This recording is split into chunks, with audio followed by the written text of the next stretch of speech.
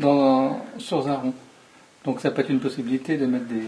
Alors après, hein, quand euh, c'était vraiment que de la pâte, on les- l'amenait là. Parce qu'il fallait supprimer encore de l'eau qu'il y avait euh, en trop dans, la, la- dans les cerneaux, dans le bois, dans les, les- les- Les et on les passait là-dedans.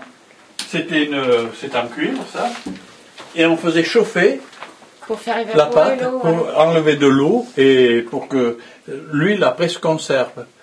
Alors, euh, suivant comme euh, euh, les gens réclamaient, on mettait euh, plus ou moins long- longtemps, parce que plus on enlève de l'eau, mieux elle se conserve.